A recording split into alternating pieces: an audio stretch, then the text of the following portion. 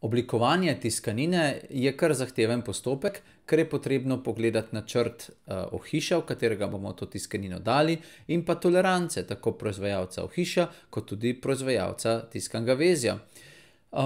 velikokrat nam proizvajalci v hiši ponujajo triD-modele, tako ne samo ohišja samega kot tudi, triD-model samega tiskanega vezja, ki ga bomo v to ohišje dali. In na ta način veliko lažje oblikujemo našo obliko tiskanine. Pa si poglejmo par primerov. Tu imam ta dizajn, katerega bom zdaj oblikoval, in prva stvar, kot je, bom pač skušal položiti, postaviti triD-ohišje, triD-objekt v ta, v ta območje tiskanine. In izbral bom, dizajn, triD-dizajn tiskanine, ki nam ga je dal proizvajalec ohišja. To je tale. Pri čemer je pa, treba vedeti, da triD-modele, ki jih Altium razume, so, morajo biti v obliki step datoteke, in, če imamo kakšen drug triD-model, je treba v step datoteko prekonvertirati. Zdaj bom to položil noter. Lahko triD-model obračam oziroma ga položim nekam, kamor je primerno. Ko pogledam to v triD-pogledu, vidim že našo tiskanino, kako lepo je postavljena.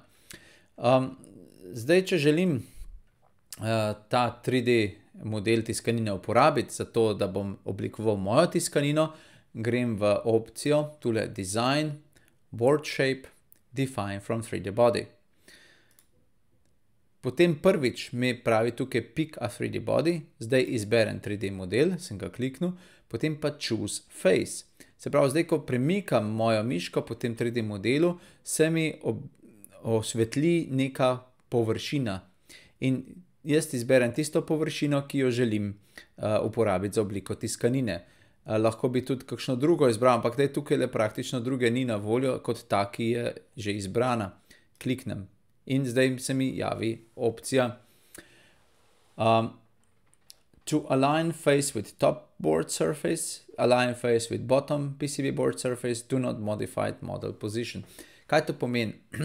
Višina tega triD-modela potem lahko Altium poravna z zgornjo ali pa spodnjo površino tiskanega vezja, lahko pa nič ne naredi.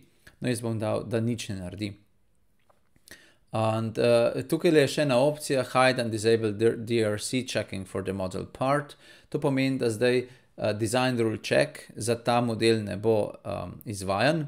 Namreč Altium zna tudi preverjati, če, je tiskanina sega znotraj triD-modela ohišja recimo in obarva potem to kot napako. Tole recimo, da ima smisel zaenkrat imeti vklopljeno, da pač za ta triD-model ne bo preverjal, če je slučajno prišlo do collisiona. Close. Tako. Zdaj grem nazaj v dvad-pogled s tipko dva in oblika moje tiskanine v čisto lepo, se prilega triD-modelu, ohišja. oziroma triD-modelu, tega modela tiskanine. Jaz lahko zdaj ta model tiskanine izbrišem in dejansko, kar ostane, je, dizajn tiskanine, tako kot, je ta triD-model določa. zdaj jaz lahko seveda, postavim triD-model mojega, mojega, ohišja in preverim, če to paše skupaj. Place 3D-body. Izberem zdaj ohišje, heat sink.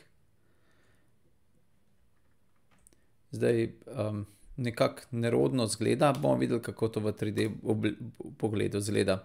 Stisnem trojko. Evo, moje ohišje je postavljeno pokonci, zato ga moram zrotirati. Seveda najlažje to naredim tako, da izberem ohišje. Grem v properties. In izberem rotation. Paziti moram, ta rotation moram izbrati ročno, vpisati ročno. In poglejmo, katere so osi. X je v desno, Y je v zgoraj in Z je vertikalno ven. Se pravi X izberem, da bom rotiral okrog X osi za devetdeset stopinj. Tako se mi bo zrotiral takole dol. Potem pa še okrog Y-osi tudi za devetdeset osi, za devetdeset stopinj, da vidim, kako bo to izgledalo. glih kontra, minus devetdeset. Tako. In še okrog z osi bom zarotiral za 90 stopinj, da vidim 270 bi to izgledalo. Evo ga, mislim, da je tole kar dobro. tako. Poglejmo zdaj v dvad delu. Opa.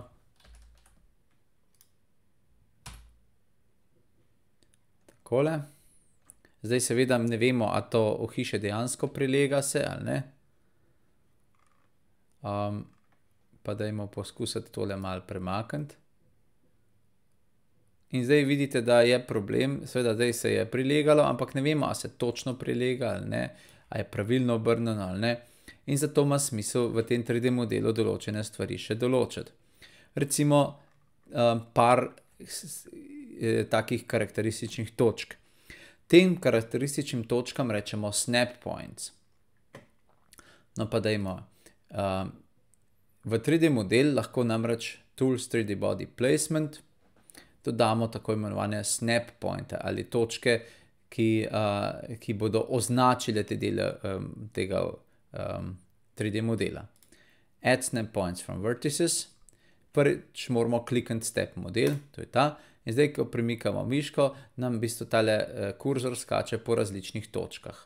Recimo, da želimo označiti najprej tile dve ta, tale vršiček tule. Zdaj ne vemo, a je to na sredini ali ni. Skušamo malo ven noter prehajati in poskušati poiskati recimo sredino, da je to sredina. Okej. Potem dajmo še tukaj sredino označiti. Takole. Potem pa še tile dve luknji. Tale luknja. Zdaj, sredina te luknje je kar težko dobiti. Ne vemo, a je to sredina ali ni. Včasih je boljše, lažje najti vogal luknje. Recimo tukaj. Ja, kar težko je najti ta, tole, mogoče pa je tole sredina. Ne vemo. Probajmo.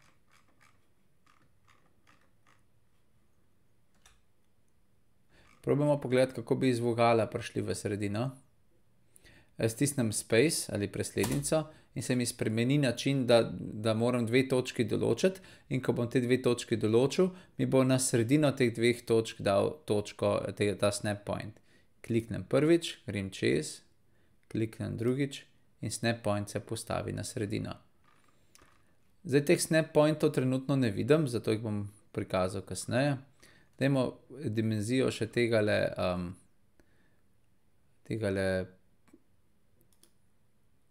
takole. Čakajte samo malo. Tako pa tako. Majčkeno še označil, velikost tele odprtine. Ta odprtina je namreč pomembna zato, da lahko vemo, kje imamo lahko višje komponente. Potem še tile dva štifta. Takole. Tako. Pa še tole luknjo. Tako. No, mislim, da smo zdaj vse luknje označili. In grem ven nazaj v pogled dvad. Vidimo, da teh snap pointov ni videti. Čeprav bi jih morali, ker smo jih označili. Zato moramo ta pogled snap pointov vklopiti. Kliknem dvakrat na tale, barviti, kvadratek spodaj levo in potem izberem system colors in tu spodaj najdem snap points. Component reference points, da vidimo to, triD body reference points, custom snap points. Evo jih, no, zdaj jih pa imam. In tudi v triD-ju jih vidim. In zdaj jaz lahko mojo tiskanino postavim notri. Seveda vidim, da je moj triD-model obrnjen ravno narobe, zato ga bom zdaj prijel in ga bom zasukal za sto osemdeset stopinj in postavil noter. Približno zaenkrat. Bolj točno ga bom postavil pa zdajle. Kajti zdaj pa vem, kje so tele točke. Tale točka mora čisto na sredo tele luknje priti. Evo, zdaj tudi ta točka ustreza in ta točka ustreza in vse ostale. Poglejmo zdaj v dvad. triD. Evo. Moj model direktno paše v ta triD-model tega ohišja. In zdaj jaz lahko celo na neki dodatni plasti, ki bom zdajle generiral, določim območje, kjer so komponente lahko višje od kakšne druge. Na primer dodam nov me, uh, mechanical layer, pa bom rečem tukaj le mechanical 4, izberem, ne vem, um, um, height area. Recimo, številka 4, ta layer nikjer ni po standardu definiran, kaj bi lahko bil in ga lahko uporabim za to. Height area, grem na ta height area in postavim neko linijo oziroma nek, uh, tako, neke linije in se seveda se lovim na te snap pointe. Takole, mogoče lahko uh, izberem še, da vidim, kaj imam to opcijo. Tako, 3D body snap point vklopljen, da se mi bo na njih uh, miška prijemala. Grid izberem mogoče en milimeter in gremo risati črte. Aha, samo še uh, izbrati moram uh, na katero plast. Top component outline plast je to, layer 13 in gremo. Evo, zdaj se pa snepa noter. Tako. To je ena črta. Pa druga. Se pravi, snap pointi delajo samo, če, če rišem po tisti plasti. Lahko bi pa to še popravil. Pa dajmo vse en. Ajte, zdaj je neka težava, namreč te dve točke niso čisto enake. Namreč tale točka, ki sem jo prej označil za snap pointi, tako, če grem iz nule dol. Takole, zdajle pa je. No, daj. Tako. Zdaj pa vidite, da nista čisto poravnani, se pravi, bo treba tule majčkeno še premisliti, katera od teh dveh je bolj točna. Gremo spet v 3D model. Tale je bolj ven, vidite, se pravi, bo treba ta zgornjo gledati. Pa dajmo ta zgornjo gledati, saj ni problema. Še enkrat zabrišem in narišem zgolj po tejle. Spodnjo bi moral malo popraviti, ampak ni potrebe. Zdaj imam eno dovolj. Daj, pej na to plast. Še tule top component outline in gremo. Tako. Tako. Tukaj, tukaj pa lahko narišem arc. Se pravi, namesto črte narišem arc. In smiselno je iti arc edge, zato da vem, s tukajle bom potegnil sem. Evo. In s tukajle sem in potem še s tukaj sem. Za space seveda popravim. In nazadnje narišem še tisto črto, ki sem jo prej zgrešil. In rišem navzdol. Evo, spet imam tu neko težavo. Pogledamo, katero od teh dveh križcev je znotraj. Ta je znotraj, ta je zunaj, kar pomeni, da moram zdaj tale tegale zamakniti.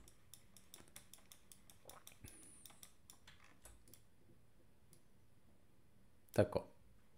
Tega pa zbrisati. No, na ta način sem narisal zdaj to območje in uh, s tem definiral, kje zdaj na tej tiskani vezi so lahko komponente uh, višje. Zdaj samo izberem to, kar sem narisal in prestavim na ustrezno plast, tako da grem na properties in tu izberem, da bo to plast, ki se bo imenovala height area.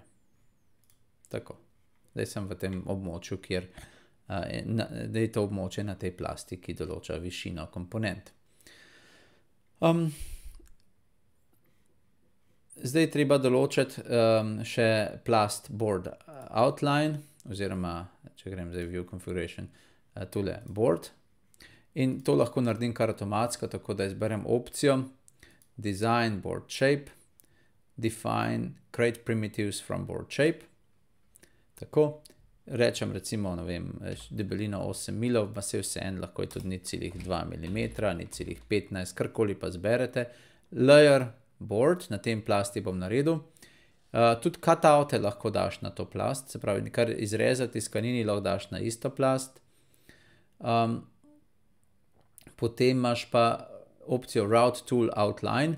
Če bi želel, da zdaj, ko izbereš to, bo to linijo potegnil zunaj te tiskanine, če pa to ne izbereš, potem pa jo potegne po sredini te črte.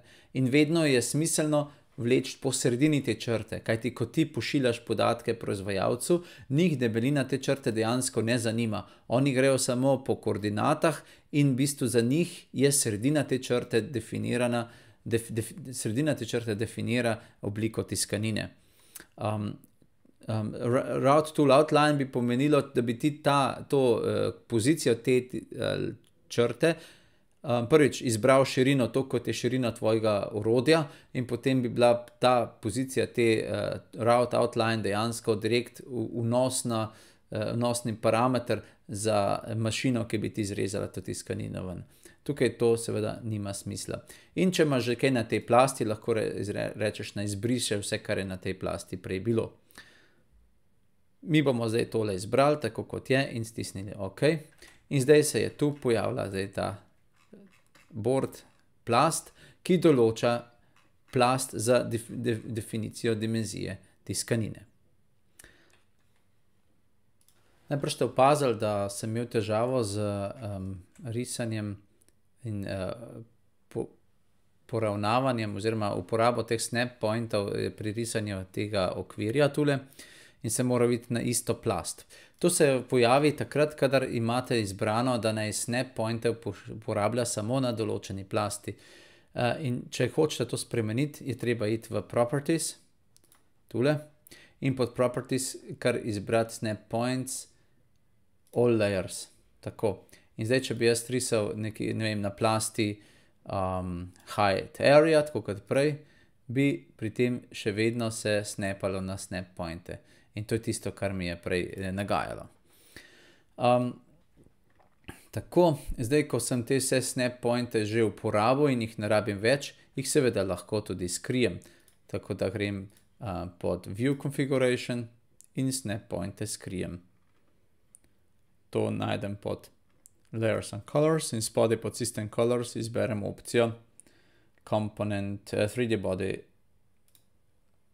Tako uh, reference point oziroma custom snap points sklopim in te križci mi ne delajo več težav.